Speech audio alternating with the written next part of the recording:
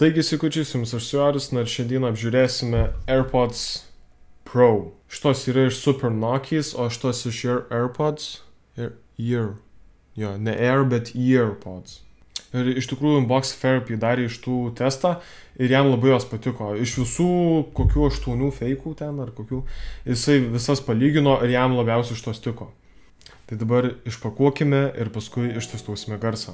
Pirmą norėjau išpakuoti juodas, nes, nu, juodos, e, kaip žinome, originalių tokių nėra užsienių ir labai įdomu buvo pažiūrėti, kaip realybėjos atrodo tos juodos, kaip galėtų Apple sukurti juodas. Tai vad gauname pačias ausinės, kurios labai gražiai pakuotos kaip originalios. Spalva yra matinė, ne taip kaip balta. Balta tai yra tokia glosi labiau, o šita yra jinai tokia matinė. Numeriai visi skaičiai kaip ir originale.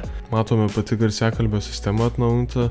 E, jo, man keista buvo tas baltas apačia, bet e, paskui išpakavus taip pat gauname ir tipus ir labai keista, jie kažkodėl balti atkeliavo, aš galvoju, kad juodus dus. Galite uždėti aukštesnės gumytės arba mažesnės. Ir taip pat įkrovimo laidas. Štai taip atrodo balta dėžutė ir juoda dėžutė. Dėžutė pati atrodo kaip ir originalas, tik tai ant originalo dar šone būna Apple logo, čia neįdėjo. Baltos ausinės irgi taip pačiai kaip ir juodos yra įpakuojamos. Na, dabar reikime ištestuoti garsą. Pala gal tai tada, aš neatsimenu, ble. Jo, not your AirPods. Tada spaudžiame connect. Tada, jo, va, va dabar ir reikia jo palaikyti. Hold button. E, jo, aš galvoju, gal būtų fainai iš tikrųjų dar būtų meniu dar juodas, bet, nu, kadangi originalių nėra juodų, bet pasiėmiau juodas, nes galvoju labai įdomu ištestuoti, nu, kaip jos atrodys. Nu, biškai reikia palaukti. 1, 2, 3, 4. O, matot? O tarkim va šitos dabar, Super Nokis, 1, 2, 3, nu kažkas panašaus.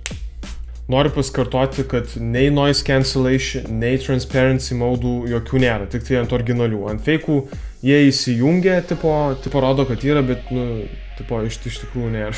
Kurių feikų net nėra tų sensorių, kad patikrint, ar tau tinka tos ausinės, kai įsidėjai. Nu, tarkim, dabar užsimetu. Dabar darom. Do not remove. Man čia dabar muzika leidžia ir good seal. O jeigu tarkim šitas nusimsiu dabar. Good seal. Jo, nėra sensorių. Pačios ausinės yra matinės. Uh, visas keisas, kaip ir originaliam, visi tie užrašai, po dekliuku, pausinėm. Ir kas labiausiai man nukreipia akį, tai kad, žiūrėkit, va,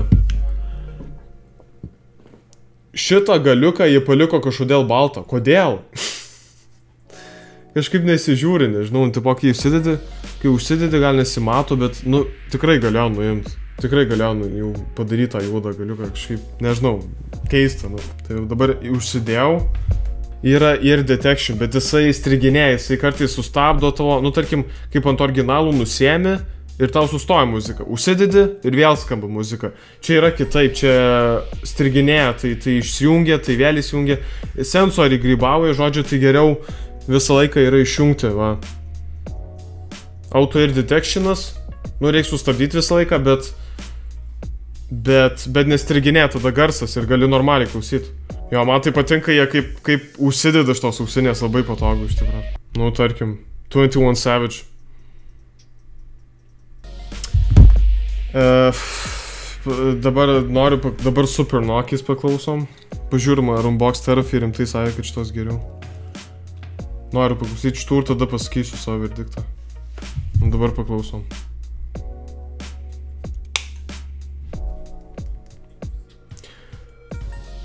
Jo, žinokit, ant Super Nokis geresnis garsas. Man labiau patinka.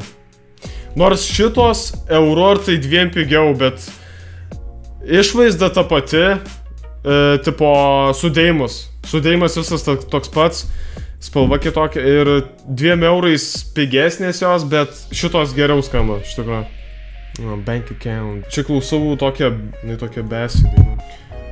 O va tarkim, va dabar, kur nėra baso, nes šitą dainą ne, tokia baso neturi, tai realiai panašiai skamba. Gal šiek tiek geriau, bet... Nu, overall e, dėl baso tai iš to žymiai geriau. O jei norit juodų ausinių, tai imkite šitas. tokios išskirtinės, nu, nes tipo Apple fanai ir norėjo, žiūrėkit net spalva, ai, čia galbūt, kad rei- reikia pakrauti, negalima. Taip pat turi pagerintą bateriją, kažkur apie 4 valandas galima klausyti muzikos, paskui vėl pakrauni ir vėl gali klausyti 4 valandas. Su siuntimu buvo kitaip, šitos greičiau atkeliavo, šitos e, vėliau atkeliavo.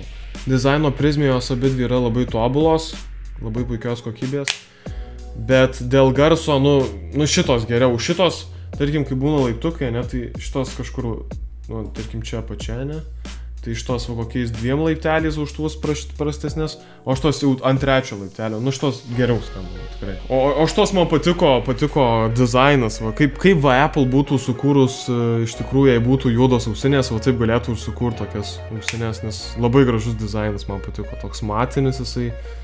Taip pat noriu pabrėžti, kad abi dvi ausinės jau turi atnaujintą garso sistemą, reiškia, kai ant senesnių buvo šitas pats visas garsiakalbis, jis buvo dar siauresnis, jis dabar biškai praplatės, reiškia daugiau garso, daugiau kokybės, visko daugiau. Tai reiškia pagerinta versija, čia yra naujausia versija iš tų feikų.